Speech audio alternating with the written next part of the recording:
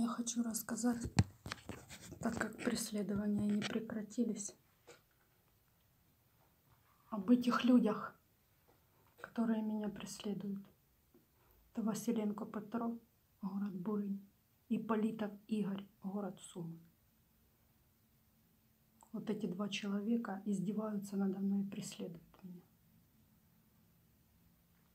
Все началось еще, еще в моем детстве. Я так буду читать, потому что меня всю колотит. Все началось еще в детстве, когда мне было 14 лет. Так как я была ребенком и ничего еще толком не соображала, я не могла отличить, что правильно, а что нет. Отец у меня алкоголик, и потом поэтому я выросла на улице. После дискотеки в клубе один мой знакомый предложил мне заехать на праздник к его друзьям, поздравить э, какого-то друга с днем рождения. Я попросила побыстрее, так как мои родители ждали меня дома. Мы заехали в дом и зашли в квартиру, где э, ну, было гуляние.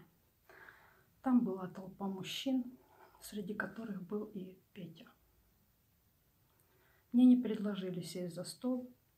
Я тогда не поняла, что меня используют как жертву. Я еще ребенком была, я не соображала, в принципе. Он, короче, э, на меня начал наезжать, всячески меня обзывать, а потом таким приказным тоном э, ну, начал командовать, что типа мы тебя изнасилуем. Мы сейчас тебя по кругу пустим. Это у них такие э, блатные жаргоны. В общем, я очень испугалась, начала плакать. Но он был неприступен, не, не, приступен, так как там, была, там были одни его вот эти бандиты я поняла, что уйти мне оттуда не получится. Господь все-таки услышал мою молитву. За меня заступился один парень. Петро его начал очень сильно избивать. Повыбивал ему зубы, изуродовал его. И я еле-еле выскочила на улицу. Не удалось просто убежать. Когда я вышла, то он сел в свою машину и совершил на меня наезд. Это так называется. То есть ударил своей машиной беззащитного ребенка. Я думала, что он мне ноги переломает. Но удар смягчила. У меня такая шуба была длинная, смягчила. И слава богу, я осталась жива. Но я поняла, что этот человек меня покоя не оставит. Он меня просто э, ненавидит он вообще, мне кажется, что он вообще ненавидит женский пол. Весь, всех женщин. Вот такая у него какая-то ненависть.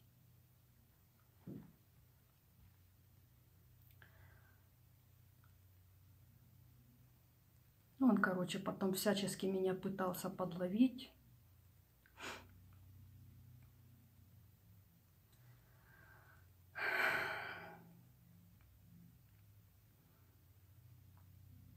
Я уехала из этого города в другой город. Ну и не видела где-то лет 20, наверное, его не видела. Слава богу, у меня нормальная жизнь началась, друзья там. Я познакомилась с очень хорошим человеком. Мне все было хорошо. Все началось после того, как он зашел в то место, в тот ресторан, в котором я работала. Меня сразу оттуда уволили. Хотя я проработала в э, общепите почти 20 лет. После того, как он пришел на мою работу, меня сразу уволили оттуда. Я еще тогда не догадывала, что это их рук дело. Я очень долго искала работу.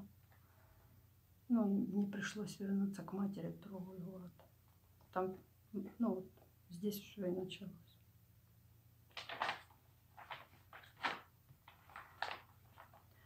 Что мне о нем еще рассказать? Они занимаются рэкетом. Совести у них нет. Это эти люди-садисты, которые ходят с паяльниками и утюгами. Занимаются продажей наркотиков.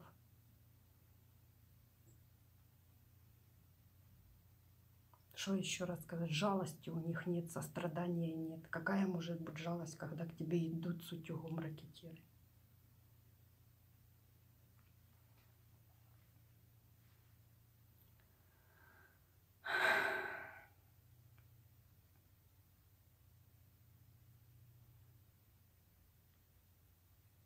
Ну, короче, начались преследования. У меня начались преследования. Он начал всячески обливать меня грязью перед моими знакомыми, перед моими друзьями. Всячески из, из, издеваться, избивать. У меня куча этих случаев, когда или 13, или 15 случаев только. Я там, например, вот я чуть-чуть записала там, меня человек не видел тоже 20 лет, я приехала в другой город, позвал посидеть в кафе. Так его, короче, эти охранники его, Петра, вывели этого молодого человека и избили. Я возвращалась домой одна. И это не единожды было.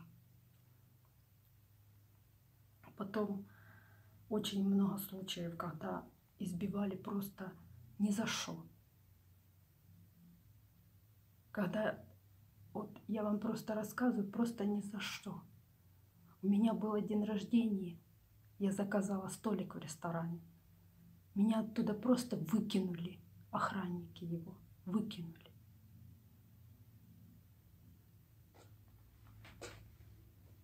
Это у них как поломать руки, отобрать телефон. Я в этих видео, которые я буду вылаживать, я буду просто об этом рассказывать, что они делали. Там должно быть 13 или 15 только уголовных дел. Потому что меня избивали э, вообще ужасно. Снимали на камеру. Когда меня избивали, вот эти э, твари, они снимали меня на камеру.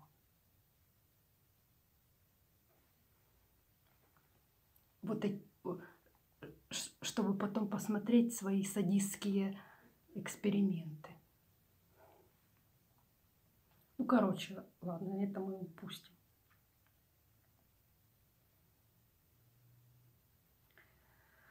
В общем, меня начали гнать все мои знакомые, которые были раньше друзьями. Он рассказывал обо мне все новые и новые сказки.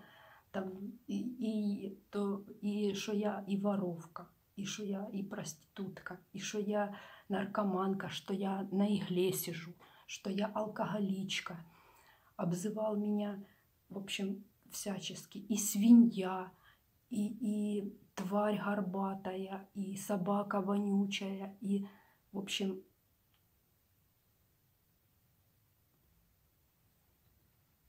меня не хватает слов просто. Я упускаю матюки.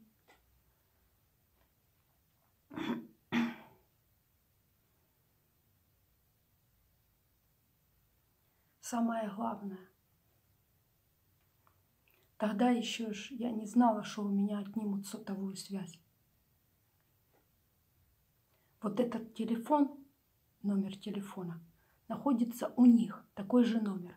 Ну вот они устанавливают как родительский контроль. И когда ко мне кто-то звонит, идет переадресация звонка на его номер. Я не могу никому позвонить. Мне за 7 лет не позвонила ни одна подруга ни один человек. Никто потому что у меня абсолютно а, вообще нету мобильной связи. Не найти себе работу, не как-то, в общем, связаться даже с общественностью я не могу. Вообще. Я ничего не могу сделать.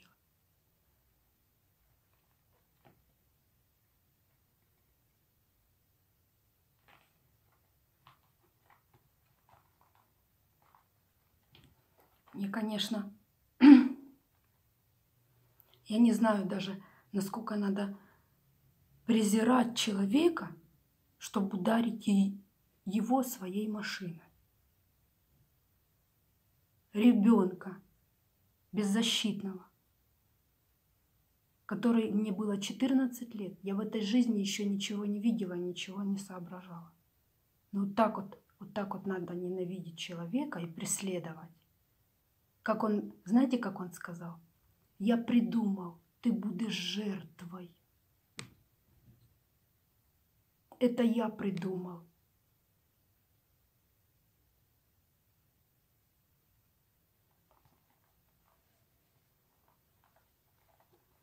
В общем, еще один случай я хочу рассказать. Я же не знала, что мой телефон прослушивают, что там, что у него все вот эти номера, все вот эти адреса из интернета, все находится у них. У Политова Игоря и Василенко Петра. Мне все равно, кто там их крышует, милиция, чи не крышует. Наверное, они же ракетиры работают с какими-то милицией, потому что им дают такой доступ в э, мобильную связь. Как мне начали мне угрожать. Значит, говорили, что у нас есть все твои мобильные данные. И вот, э, значит, э, мы будем снимать деньги из твоих кредитных карточек. Я вообще очень сильно переживаю за своих родителей, за своих близких, так как маленький ребенок у нас в семье. И вот это вот идут такие угрозы. И из-за этих, из-за этих постоянных угроз, из-за этого вот преследования моя семья переехала в другое место. Потому что у нас в семье был, есть маленький ребенок. Вот я вам сейчас хочу показать.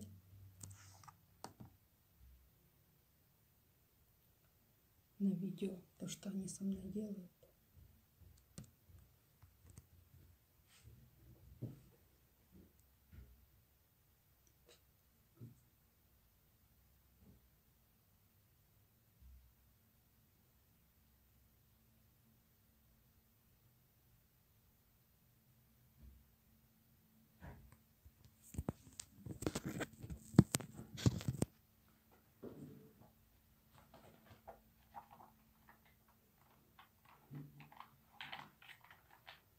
Что они мне угрожают. Вообще, это все бесполезно. Просить кого-то о помощи там, если они мат родную продают.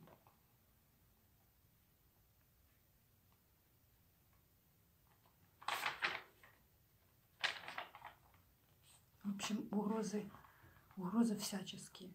И мы тебя задушим пакетом мусорным и мы тебя зарежем, и мы тебя э, сделаем инвалидом, и э, будем кастетом бить по голове. Ага, я тебе и ноги перебью, и вывезу в багажнике в лес.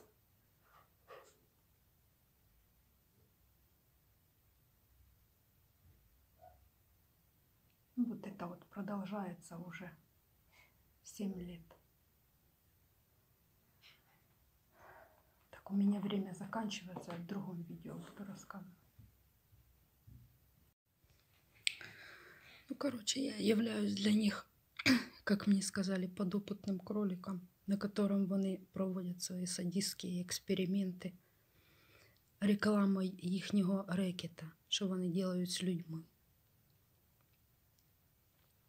Они загнали меня в долговую яму.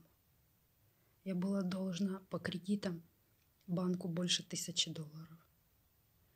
И мне пришлось куда-то уезжать, потому что на Украине нигде не было работы. Мне пришлось куда-то уезжать. И тоже через интернет. А так как они постоянно висят у меня на телефоне, то работу скидывают они. Я поехала в один ресторан, который мне предложили за границей поработать. Я приехала в этот ресторан без задних мыслей. Обычное кафе. Но как, как э, оказалось, работы там для меня нету. Там, там предложили совсем другим заниматься. И не то, что предложили, а начали шантажировать, бить. Значит, началось с того, что, что ты нам должна пять тысяч долларов. Ну, понятно, что э, не им я должна пять тысяч долларов, а вот этим Пете и Игорю. Ты должна типа пять тысяч долларов нам отдать. За трудовую книжку, за санитарную книжку, короче, за все документы, что я там делала. Ты, короче, нам, хотя я делала их за свой счет и брала кредит в банке на билеты и на все остальное. Ты типа должна нам пять тысяч долларов. И, и, короче, меня завезли э, далеко за город, где-то километров 80, наверное, за городом. Заведение в лесу. И, короче, посадили в комнату и начали всячески избивать. Били очень сильно. Выломали и ключицу, и по ногам, и э, ногами в грудь били, и издевались, ужасно издевались. Ты должна нам деньги отдать и все. Я говорю, давайте мне работу. Какая работа? Ты типа давай деньги и все. Я говорю, у меня нет. Где хочешь, там и бери. И этот э, Игорь э, Политов, значит, звонит на телефон на чужой. У тебя кредит в банке, давай деньги, давай иди зарабатывай, типа, нам деньги надо. Откуда он вообще взял эти номера, когда я живу вообще в другом городе? Я его не видела пять лет. Ну, короче, это был кошмар. Мне угрожали очень сильно. Что вывезут в лес, угрожали пистолетом, прямо так к виску прикладывали, что типа отдавай нам деньги. Били зверски. Очень зверски. В общем, эти рекетиры сделали, как он сказал, из меня жертву, рабыню. Зарплату всю забирают потому что у них мобильная связь, они типа рабыню продают. Но слава Господу Иисусу Христу,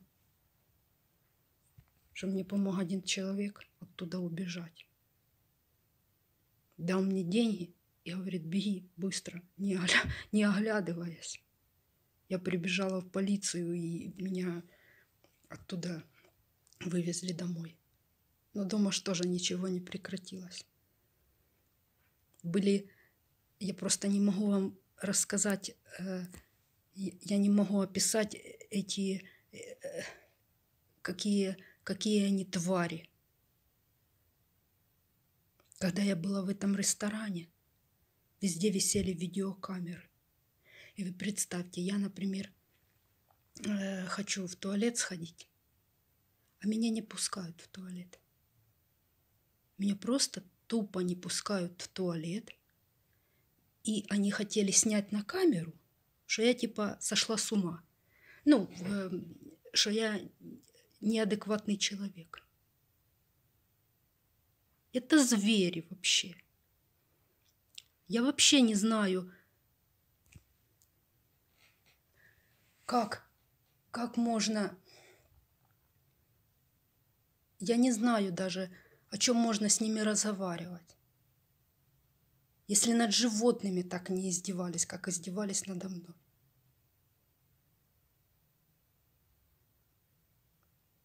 Я была беременна.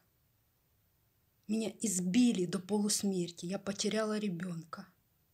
Потому что он им не надо. Все деньги и, и, и все, что у меня было, у меня украли. Чемоданы, вещи, золото. У меня забрали все.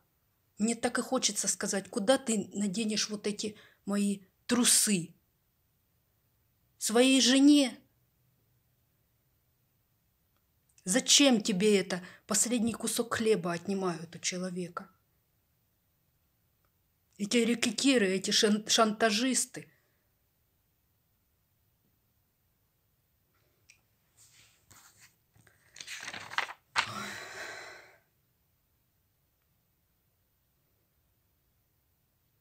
А теперь говорят, мы тебя хотим повесить, чтоб следы замести. Своих вот этих зверских издевательств, которые они издевались надо мной много лет отнимая у меня все.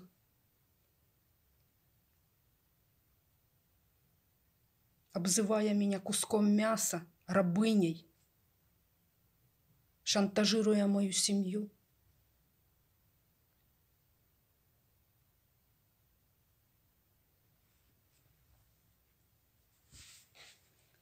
Это просто звери.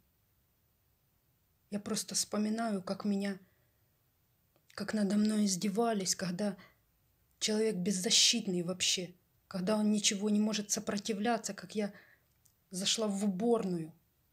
А вы понимаете, что такое уборная, да? 30 сантиметров на 30. И туда залетает человек с кастетом и начинает бить меня по голове. А я не могу выйти оттуда. Я не могу даже встать. Вырывают у меня деньги, вырывают у меня сумку. И это все по наводке по ихней.